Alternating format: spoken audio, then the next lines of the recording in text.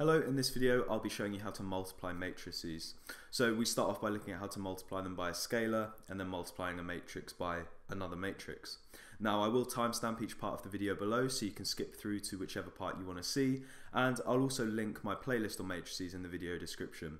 If it is useful please do like and subscribe and go over to my channel for tons more maths tutorials. Let's start off then by looking at how we can multiply a matrix by a scalar.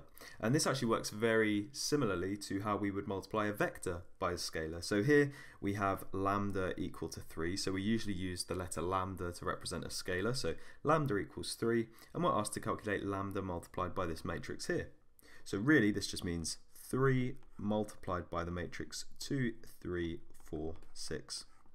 And to calculate this, all we need to do is multiply the scalar by every single element inside of our matrix. So we're going to do 2 multiplied by 3, 3 multiplied by 3, 4 multiplied by 3, and 6 multiplied by 3. And this is going to result in a 2 by 2 matrix, which is going to be 6, 9, 12, and 18. So there you go. That is literally it. Multiplying by a scalar is very, very simple.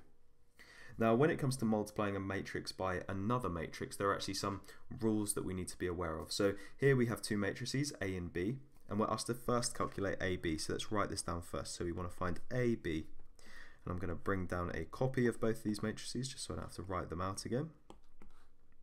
So for matrix multiplication to occur, okay, our left matrix, the one on the left, so in this case matrix A, must have the same number of columns as the right matrix has rows. So let's first write down the dimensions of these matrices. So we've got a 2 by 2 matrix multiplied by another 2 by 2 matrix. Well, let's check if, if this is true. So our left matrix, well, how many uh, columns does it have? It has two columns.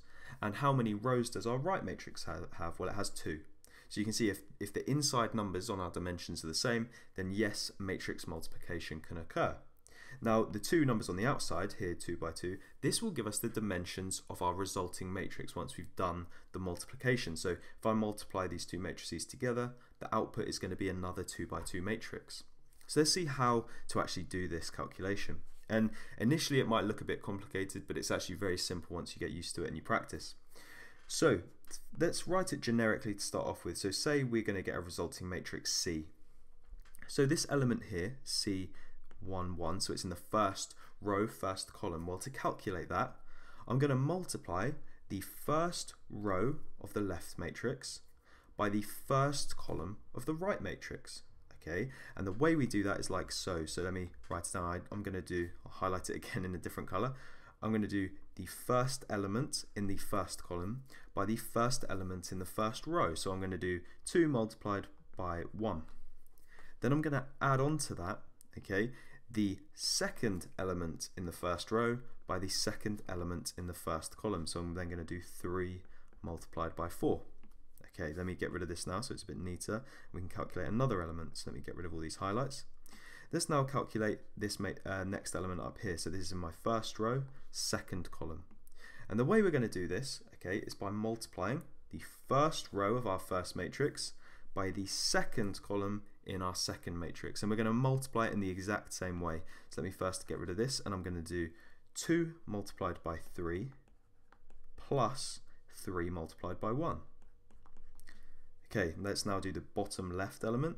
So this is in my second row, and it's in the first column.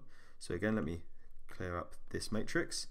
So it's going to be, okay, the second row of the first matrix multiplied by the first, oh sorry, second row of the first matrix multiplied by the first column of the second one. I feel like I'm saying a lot of words, it's getting a bit confusing, but hopefully it makes sense. So I'm going to do 1 multiplied by 1 plus 2 multiplied by 4.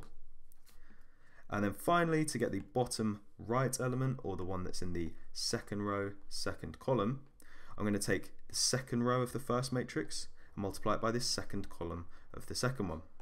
And so we're going to do 1 multiplied by 3 plus 2 multiplied by 1. So this is going to give us a resulting matrix, which is, well, 2 multiplied by 1 is 2, plus 3 times 4 is 12, so it's going to be 14. Then we've got 2 multiplied by 3 is 6, plus 3 is 9. 1 times 1 is 1, plus 2 times 4 is going to give us 9. And 1 times 3 is 3, plus 2 times 1, so that's going to give us 5. So you can see here we get a resulting matrix there. So for the second part, I'm not going to uh, annotate it as much, we're just going to do it. So we're going to calculate matrix BA. So let me bring down a copy of both matrices, and you're going to see why I'm doing this calculation in a second. So BA, let's bring them down, here it is. So let's calculate first row, first column. Okay, maybe I'll highlight it actually, but I won't write out as much. So I'm going to do this row multiplied by this column. And I like to think of it usually as going across and down when I'm calculating these. So we're going to do 1 times 2 is 2, plus 3 times 1, so it's going to give us 5. Let's now do the next one. So let's do uh, the first row, second column. And so to do that, I'm going to take the first row here, multiply it by the second column. So I've got 3 plus 6, which is going to give me 9 and then I'll do the rest without highlighting it at all. So the bottom left element, that's going to be 4 times 2, which is 8, uh, plus 1 is 9. And then finally, we're going to do 4 times 3, which is going to be 12, plus 2, which is 14. Now you'll notice something here. You'll notice that the matrix AB is not equal to the matrix BA.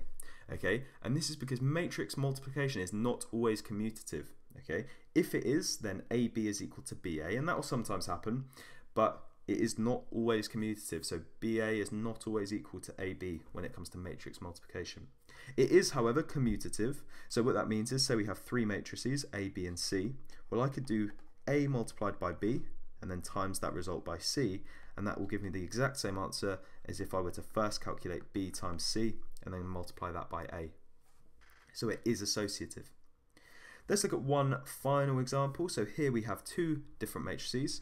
The first one, let's write down the dimensions of it. So the first matrix we have is a uh, 2 by 3 matrix, and the second matrix we have is a 3 by 2. Well, look, the number of rows of the first matrix equals the number of columns of the second one, and then so we're going to get a resulting matrix, which is a 2 by 2 matrix.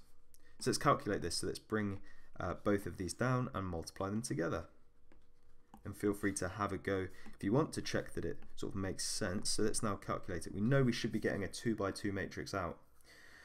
So for the top left element, okay, so I'll highlight it again I suppose. We're going to do first row of the first matrix multiplied by the first column of the second matrix. So 2 multiplied by 2 is 4, plus 1 times 1 is 1, plus 3 times 3 is 9.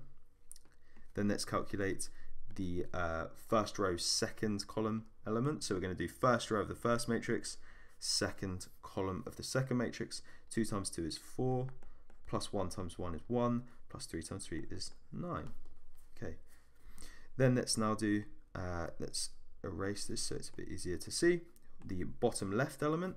So that's going to be the second row of the first matrix and first column of this, wait, first, second row of the first matrix multiplied by the first row of the second matrix. Feel like I'm confusing myself here.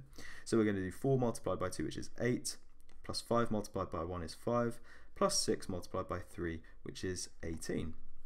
And then finally, I'm going to do the second row of the first matrix multiplied by the second column of the second matrix. 4 multiplied by 2 is 8, plus 5 multiplied by 1 is 5, plus 6 multiplied by 3 is 18. And this is going to really test my addition here. Uh, so for the top left element, we're going to get 14. Same for the top right element. And here, what are we going to get? Uh, 20, 31, I think, for both of these. If I've made a mistake, I'll adjust it. Uh, but yeah, that is matrix multiplication. Hopefully uh, that was useful. If it was, please like and subscribe. Um, you can also check out my playlist on matrices. I'll link it in the description. And you can go over to my channel for tons of available maths and further maths tutorials. Thank you very much for watching.